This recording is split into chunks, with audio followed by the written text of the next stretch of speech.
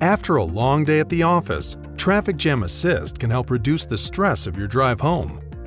Enriched with vehicle and environmental data from two front radar sensors, eight ultrasonic sensors, and a windshield-mounted camera, Traffic Jam Assist can help guide you at speeds up to 40 miles per hour.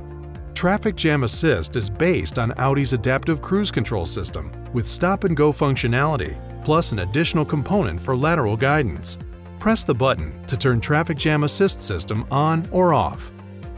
When Adaptive Cruise Control is active and the Traffic Jam Assist indicator is green, vehicles in front of your vehicle can be detected.